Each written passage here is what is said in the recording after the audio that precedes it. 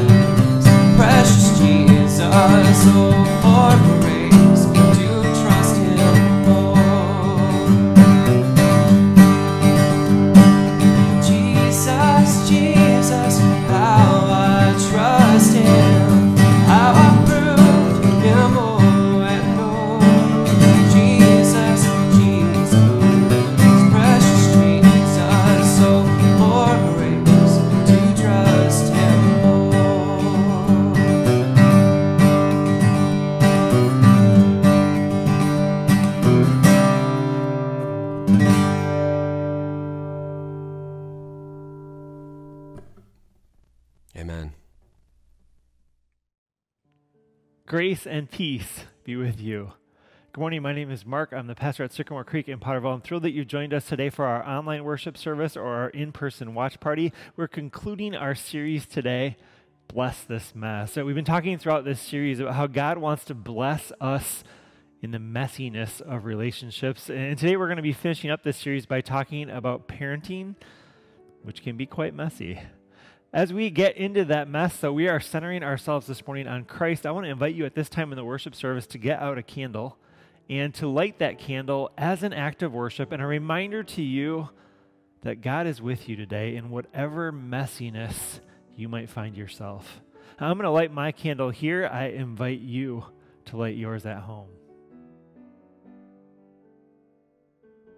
We look to that candle today as a reminder of Christ's presence with us, a reminder of God's love for us, God's, God's grace that is always leading the way in front of us. It is like a light that shines in the darkness. As we look to the light of Christ, I'm going to invite you to pray with me. And as we prepare for our time in prayer, a reminder that you can share prayer requests or praises with a team of people who would love to lift you up in prayer. And you can email them at prayers at sycamorecreekchurch.org. Will you join me in praying? God, we thank you today for the blessing of relationships. We thank you for all the people who are meaningful to us, uh, people who are meaningful to us right now, and, and some people who may have passed away and have gone before us who have been meaningful to us. We, we thank you, God, for those relationships. We thank you for the impact that they have on us. And we thank you how relationships at their best, God, point us to our relationship with you. And God, as we praise you for relationships, we also recognize that they are difficult and that we struggle with relationships, particularly with what we're going to talk about today parenting.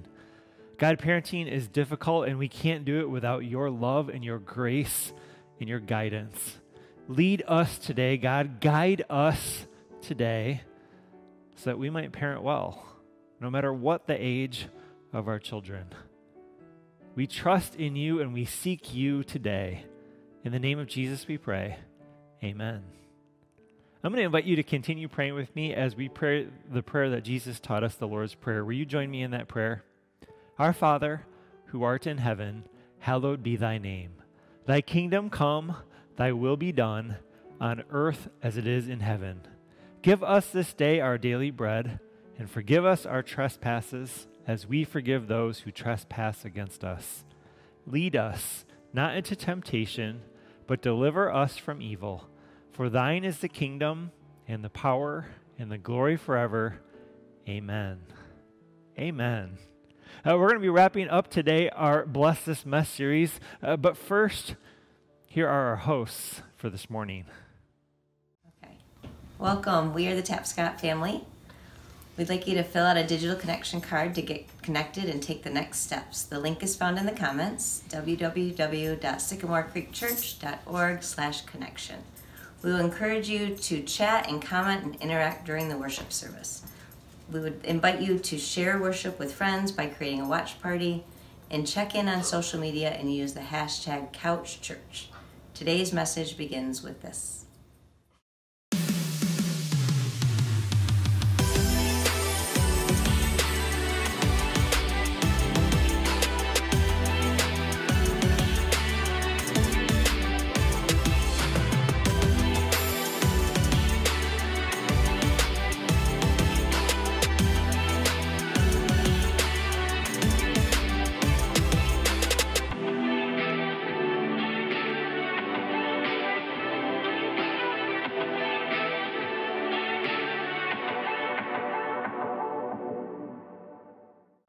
February 3, 2006 at 11:33 p.m., my life changed forever with the birth of my first child, Andrew Mark Auberly, or Drew as we call him. My life changed because uh, as a parent, and those of you who are parents, you get this. Uh, there are ways that you give of yourself and you sacrifice for your child that you wouldn't for anyone else. And well, a few years later, we added Kate to our family, and through my children, I've come to know some important things. Uh, I know a whole new level of unconditional love for a child, no matter what their age or stage in life. I know a level of care and concern that I didn't know I had. I know an experience of joy and heartache and stress and happiness. And a host of other soul deep emotions and experiences. I know a deeper appreciation for my own parents and what I put them through. But most importantly, I know a lot more of what God must experience as we are all God's children. If you are a parent, you know what I'm talking about. Hi, my name is Mark, and I'm the pastor of Sycamore Creek in Potterville. We are concluding our series today called Bless This Mess. And well, I'm praying that everyone who hears this will know the good news that God loves you and that God wants to be in a relationship with you. And the Bible consistently describes God as a perfect, loving parent. Uh, that can be hard to imagine with all the variety of experiences that we've had with parents, but God, like any good parent, wants a deep, rich, and healthy relationship with God's kids. I pray that today, as we talk about parenting, whether you are a parent or not, that you will know the love of God expressed through Jesus. You see, God wants to bless you today, even if and even when our lives are a mess. We've been talking throughout this series about the blessing of the messiness of relationships. We started with God's unconditional love for us, shown at Easter through Jesus, that restores us to a relationship with God, and, and then it restores our relationships with each other. We've been reminding ourselves each week that God wants to bless all of our relationships, including our friendships, our families, our marriages, and well, our parenting. Now, that blessing is possible even if and, and even when those relationships are messy and they will be. And now, while we focus on parenting today, I want to remind you that in the family of God, we have responsibility for one another.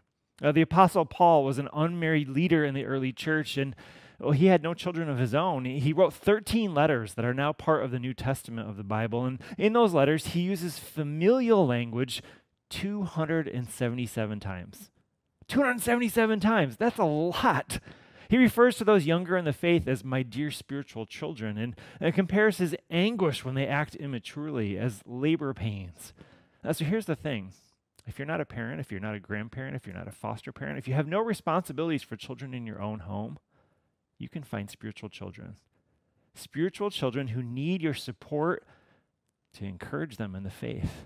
I'm here in our Kids Creek area here in Potterville as a reminder today of our church supporting children and families.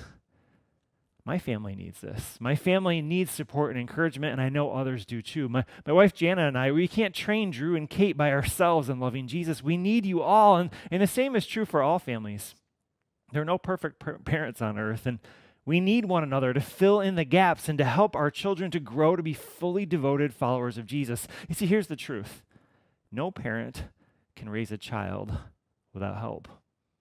Uh, when I became a dad, I quickly realized how daunting and challenging the task was before me. And even though I had, I had loving parents of my own, even though I had read books on parenting, even though I asked for help from other parents, I have still managed to mess up as a dad many, many times because raising children is difficult. Honestly, I'm learning right now how to parent teenagers, and I've often thought to myself over the past 15 years, I have no idea what I'm doing.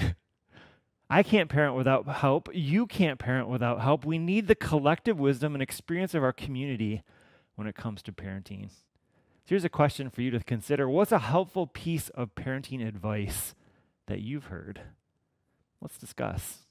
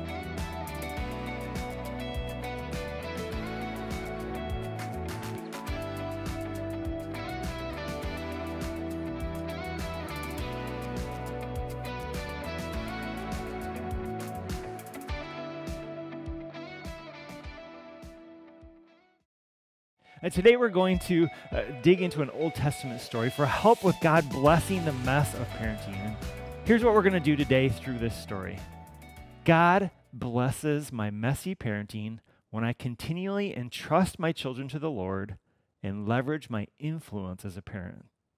Entrust, influence. That's our key thought for today. And one of the things I love about the Bible is reading about people like me. In the stories of Scripture, we find people with problems and shortcomings just like us. We also find how God blesses people in the midst of their messes when they turn to God for help. You see, even the heroes of the Bible had imperfect parents, and that includes Jesus. So in 1 Samuel chapter 1, we meet a woman who desperately wanted a child, and that's a longing that may resonate for some of you. And in fact, uh, that may be a painful, messy area for you. And may we encounter God's grace through this story. So, in our story, uh, there's a woman named Hannah. And as you will see, Hannah's story is not neat and tidy. In fact, Hannah's life was messy. Her husband's name was Elkanah, and he had another wife along with Hannah named Peninnah. Yes, that's right. Elkanah had two wives. He clearly missed Tom's message last week on the messiness of marriage. Now, polygamy was practiced in biblical times for a host of reasons. Uh, the main one was economic. So, the more wives that a man had, the more children he could have, and that produced more personal and, e- and, even more national wealth. So, large families with multiple wives and many children were considered at that time to be a sign of God's blessing. Now, over time, though, as our understanding of God and God's design for human beings increased, our culture has changed to reflect that understanding. This uh, polygamy has become less common, but at this point in the biblical narrative, it was still widely practiced. Now, as you might expect, Elkanah's two wives were not exactly best friends forever. And actually, they were rivals uh, because Peninnah had children and Hannah did not. Now, to not have children at that time was a huge deal. Again, remember, large families were a sign of God's blessing. So uh, to not have children at this time in history was, was basically to fail your family. Uh, worse yet, not having children was considered to be a punishment from God. So uh, we're in the midst of an Old Testament mess here, and Hannah's life was a mess. We pick up this story uh, of Hannah told in 1 Samuel. And when we get to the end of this passage, we'll see how Hannah's egotistical and clueless husband, Elkanah, doesn't help manners. Here we go. Each year, Elkanah would travel to Shiloh to worship and sacrifice to the Lord of heaven's armies at the tabernacle. The priests of the Lord at that time were the two sons of Eli, Hophni and Phinehas. On the days Elkanah presented his sacrifice, he would give portions of the meat to Peninnah and each of her children. And though he loved Hannah, he would give her only one choice portion because the Lord had given her no children. So Peninnah would taunt Hannah and make fun of her because the Lord had kept her from having children. Year after year, it was the same. Peninnah would taunt Hannah as they went to the tabernacle. Each time, Hannah would be reduced to tears and would not even eat. Why are you crying, Hannah? Elkanah would ask. Uh, why aren't you eating? Uh, why be downhearted just because you have no children? You have me. Isn't that better than having ten sons? This is a crazy story, isn't it? Poor Hannah. Uh, her husband Elkanah seems like a fine catch, doesn't he? Uh, lest you missed it, let me highlight. On the way to and from worship, Elkanah allowed his one wife to taunt his other wife, Hannah. Now, we might think that coming to worship would bring comfort, but for Hannah, it was a journey that was used to rub her failure in her face. Uh, the trip to Shiloh was probably about 15 miles from their home, so Peninnah had plenty of time to taunt Hannah and, and to make fun of her because she had no children. Now, to make matters worse, uh, part of the worship ceremony was that the man of the house would take time to give portions of meat to each member of the family. Imagine Hannah watching her rival wife and her children eat with a smile on their faces. Every year, Hannah would break down into a heap of tears and she wouldn't eat. Now, Hannah's attempts at words of comfort, uh, well, they're both outrageous and they're a bit narcissistic. Oh, why are you crying, Hannah? He says. Why be downhearted just because you have no children? You have me. Isn't that better than 10 sons? Now, I know Tom covered marriage last week, but, but here's a pro tip for marriage. There are a number of helpful responses from Elkanah in this situation. This is not one of them. I don't know if you have you ever felt like Hannah? Have you ever felt downhearted, frustrated, at the end of your rope? Uh, life can often be messy and confusing, even for devoted followers of Christ. And well, in preparing this message, I came across the opening lines of a book entitled Messy Spirituality God's Annoying Love for Imperfect People. And the opening lines of the book say this My life is a mess. After 45 years of trying to follow Jesus, I keep losing him in the busyness of my life. I know Jesus is there somewhere, but it's difficult to see him in the haze of everyday life. I want desperately to know God better. I want to be consistent, but right now, the only consistency in my life is inconsistency. Who I want to be and who I am are not very close together. I resonate with that last line from the author. Who I want to be and, and who I am are not very close together. That, that's true in a lot of areas of my life, including my parenting. Uh, who I want to be and, and who I am, well, they're not always close together. So here's a question In what area of your life is who you are and who you want to be not very close together? A reminder that you can anonymously send in text messages to the number on the screen. Let's discuss.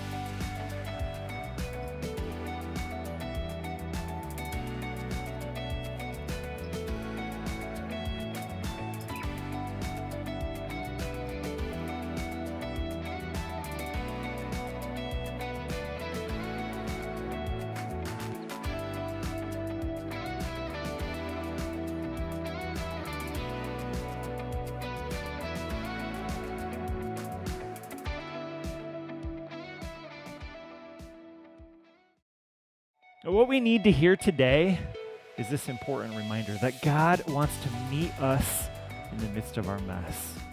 God wants to meet you right now, and not after you've somehow cleaned up your life and, and become my best version of me.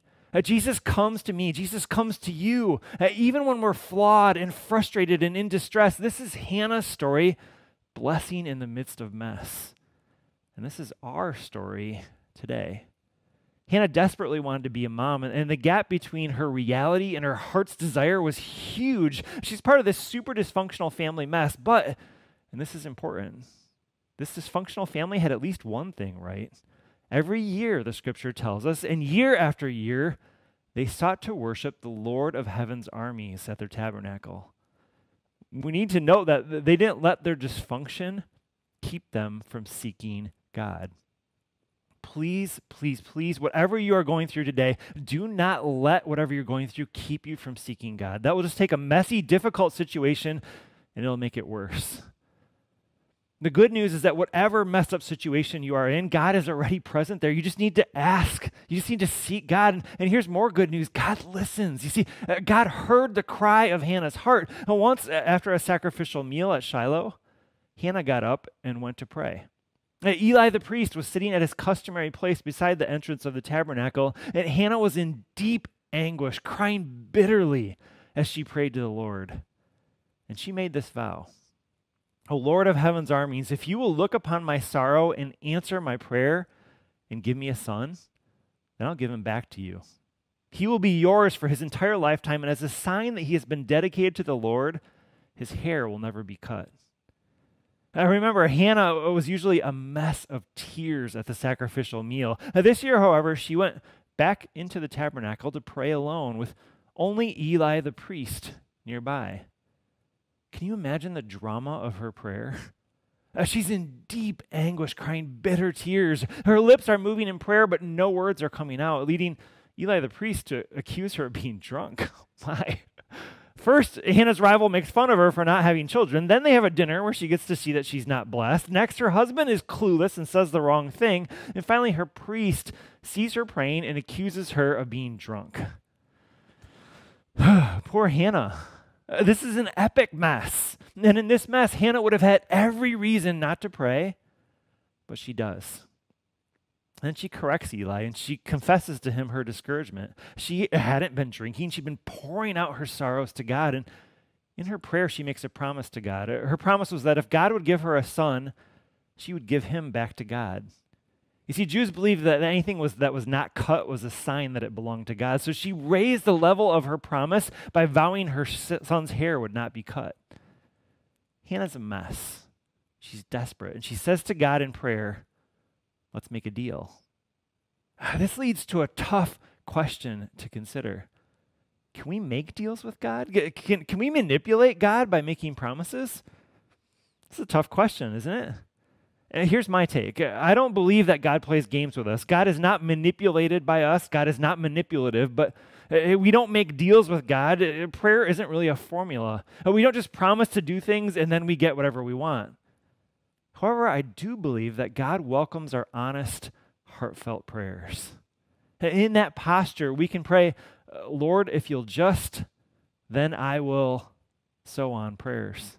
But there's no guarantee that God will answer our prayer in the way we think God should. Again, God wants us to pray honest, heartfelt prayers, but at the end of the day, God is God and we are not, and well, God will do what God wants to do. Notice uh, that Hannah does a dramatic thing here, and that even before she has a child, he, she offers her life and her future child to God. And, and God does a miracle here that can be easily missed because of the more dramatic miracle that's going to come. Uh, the first miracle is that even though her circumstances have not changed, Hannah has changed. Look with me at her conversation with the priest Eli after her prayer.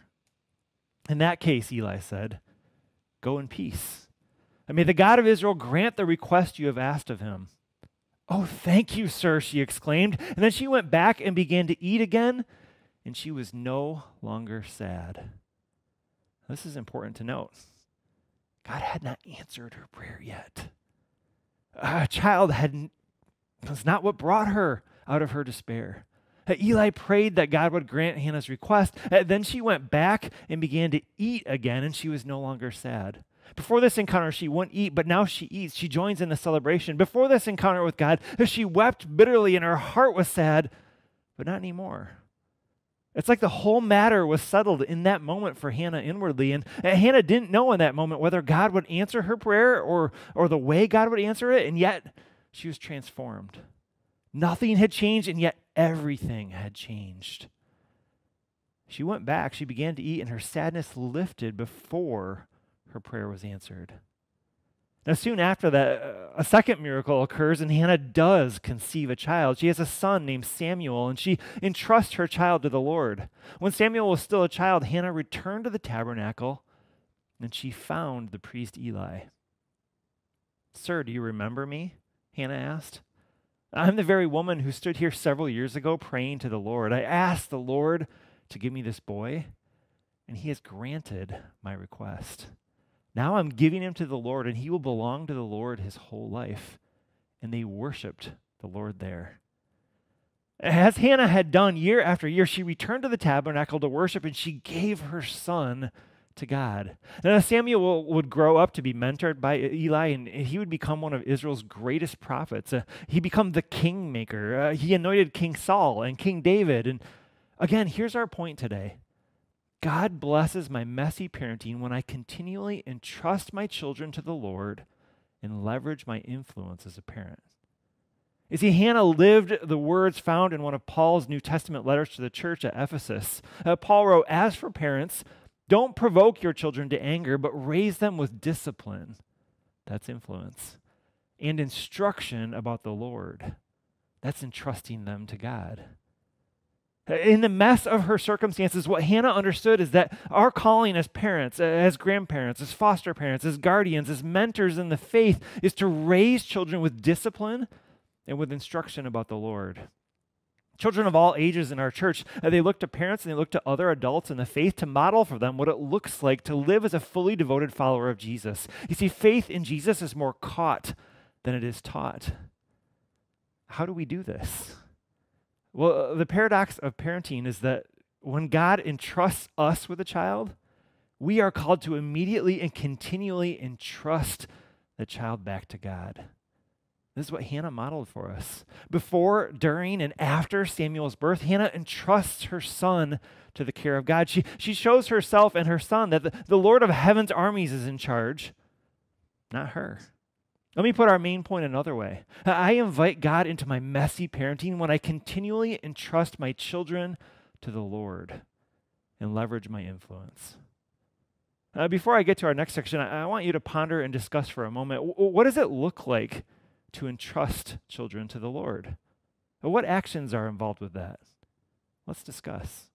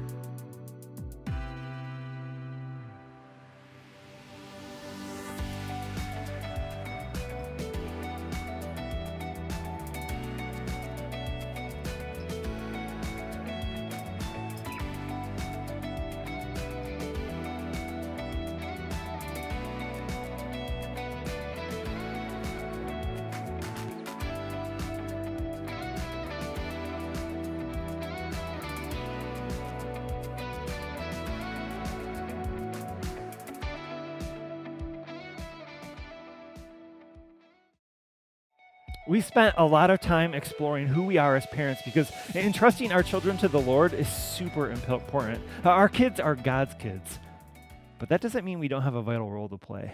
Parents, grandparents, foster parents, guardians, people of God, you have an essential role to play in the life of a child or an adolescent. Yes, entrust your children to God and leverage your influence. Leverage your influence. Uh, this is where our actions come into play, and I want to give you two quick tips for leveraging your influence. So the first tip for leveraging your influence is that you leverage your influence by being a parent. Being a parent. There is a clear authority that parents have over their children. Parents have power. I didn't start with this power because it's incredibly important for parents and adults to first and foremost have a loving relationship with God. Uh, this power can be wielded lovingly uh, or it can go horribly awry. Uh, from a loving and intimate relationship with God, we approach the power and authority that we have as parents. You see, if you don't start with a foundation of God's love for you and your love for God, it's super easy to misuse the power that parents have over children. I could give many examples of this power and authority that parents have being abused and misused because it can be. And I recognize all the pain and the harm that parents can cause.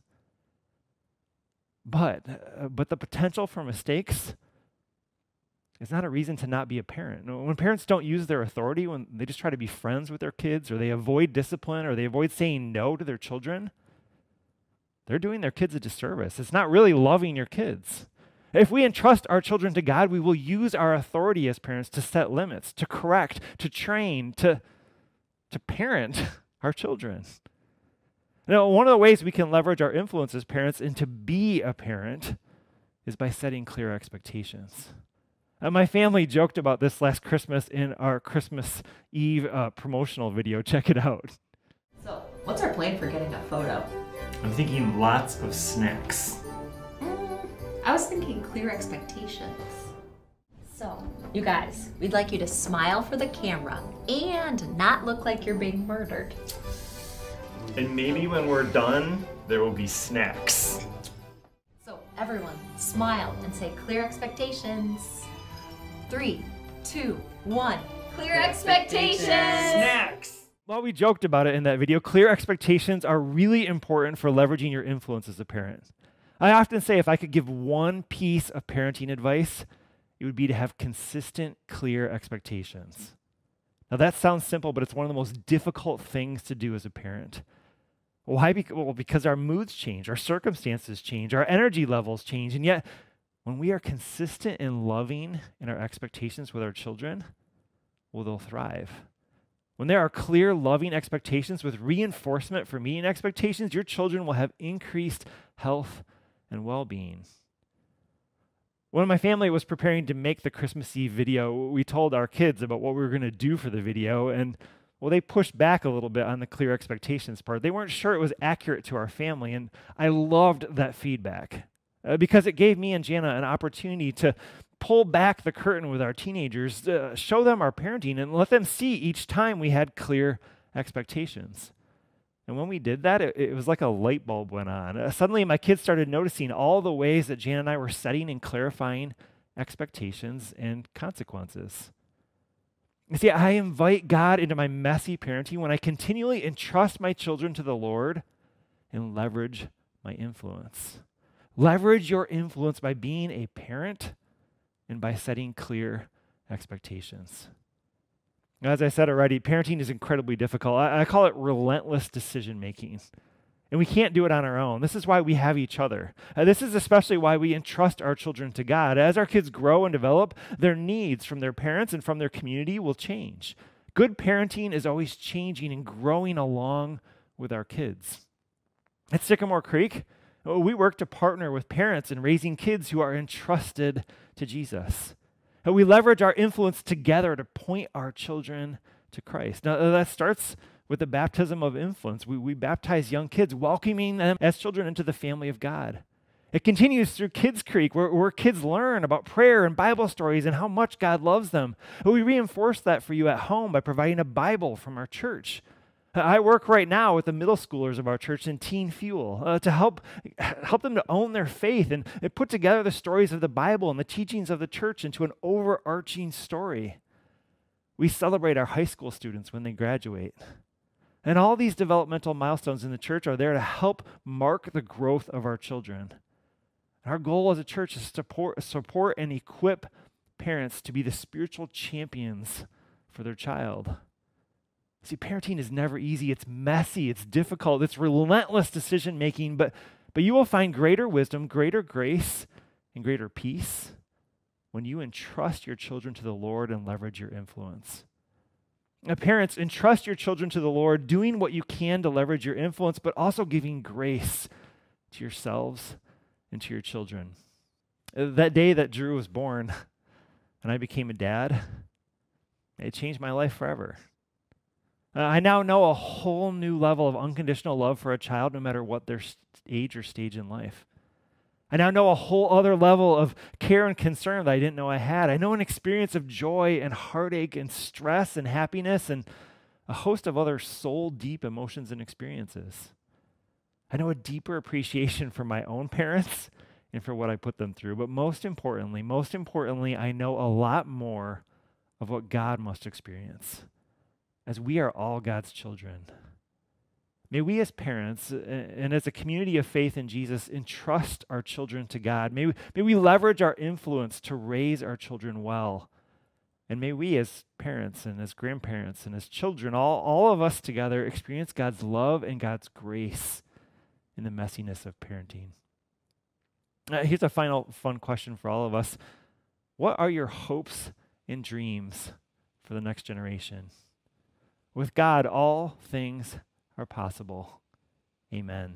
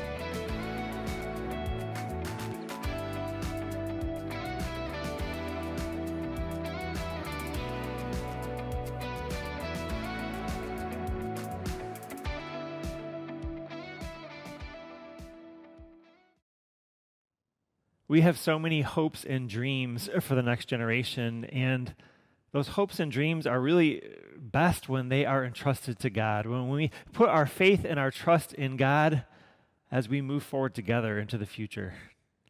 Throughout this series, Bless This Mess, we've had mental health professionals who have been providing a tip on each messy area that we've been addressing each week. Today, we have my wife, Jana Aupperlee, who's a licensed psychologist and a faculty member at Michigan State University, sharing with us a tip for how to bless the messiness of parenting. Here's Jana.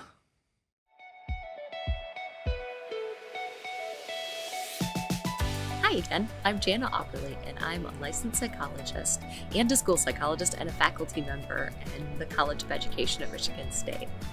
Pastor Mark and Pastor Tom asked if I would say a few words about parenting as we're wrapping up this Bless This Mess series. So I have just a few words of encouragement for you. The first one is that parenting is so difficult. It doesn't take much to become a parent, but good grief, once you have a child, parenting is so hard. A phrase I like to use is relentless decision making. So, when kids are little, you get so many of those can I questions. Can I have juice? No. Can I have milk? Yes. Can I go outside? Yes. Can I have popsicle? No.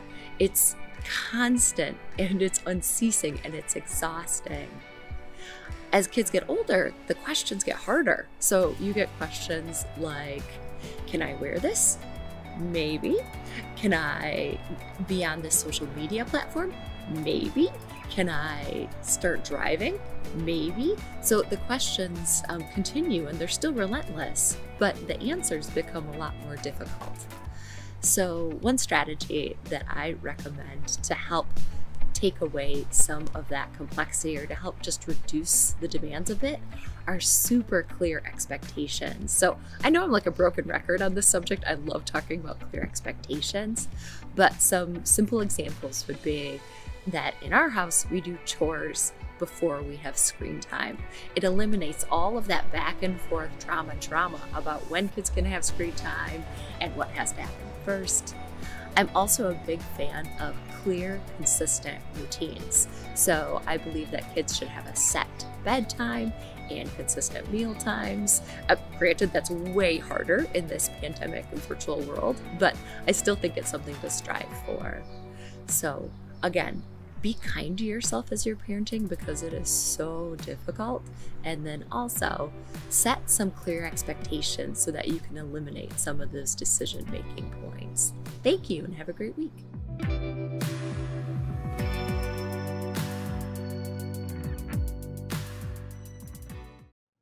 Thank you, Jana, for that tip. Uh, you can tell that my own thinking is influenced a lot by Jana, and, and vice versa. We tend to be on the same page when it comes to parenting. I have a few announcements for us, and the first announcement is that we'd love to help you get connected. We'd love to help you take next steps in your faith. You can do both of those things by filling out a digital connection card at www.sycamorecreekchurch.org slash connection. It's super easy to fill out. Once you fill it out once, it just auto fills in your information the next time you go to it. And each week, you can take next steps that help you to grow in your faith. Now, if you fill out that connection card for the first time, we have a free gift, a book by, by Max Lucado. It's called You'll Get Through This. We'll send it directly from Amazon right to your house. Uh, take a moment today and fill out that digital connection card. Today, after our worship service, as part of our online worship service, we will have the opportunity to participate in online communion. Uh, I would encourage you to go to my Zoom room. It's sycamorecreekchurch.org slash mark. Have your bread and crackers or, or crackers, your juice, your wine, whatever elements you have ready to be part of online communion. Now, you don't have to turn your camera on for that. You can just join us for audio and, and hear what's going on. We would love to participate with you in the sacrament of the Lord's Supper. Next week, we're going to be starting a new series. Uh, the new series is based on great hymns of our faith. I'm so excited about this series. It's called How Sweet the Sound. And for a little preview of what's coming up, here's a trailer for next week's series.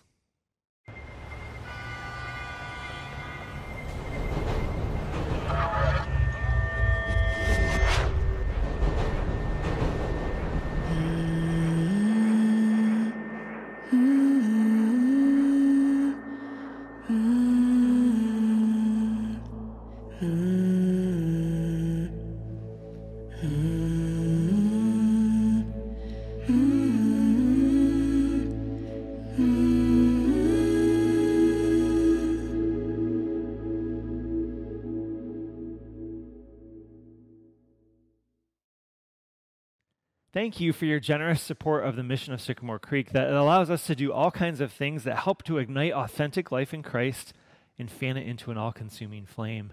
when you give, you give generously out of what God has given you and return it to God. And, and we use that money as a church to be on mission together. Thank you for your support of the mission of Sycamore Creek. You'll see on the screen there are a number of different ways that you can give a one time or recurring gift to support Sycamore Creek's mission. Speaking of the mission of Sycamore Creek, this past Sunday night I had a fantastic time with our middle school youth group. Uh, each night for a middle school youth group, we do some sort of activity, and this past week we had a fantastic time pulling out some sidewalk chalk and drawing messages on the sidewalk to encourage people outside of Pastor Tom's house, where he has two sections of sidewalk because he's on a corner house. There are all kinds of different things that kids wrote on the sidewalk, like "You're sweet," run, uh, have a good day. Uh, you saw the first one there was love. Uh, someone took the time and wrote out peace and love. We also had a Yoda there. We had You're Valid. Uh, we had a beautiful mosaic that someone drew on the sidewalk. Uh, you Give Life Meaning was another message. You Are Swag. That's a very middle school thing to say, isn't it? You Go, wrote someone else.